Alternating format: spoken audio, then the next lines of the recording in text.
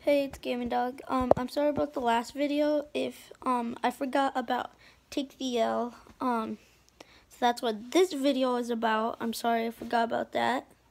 I know um John was asking me, um goalie dude was asking me if I was gonna put that in the video.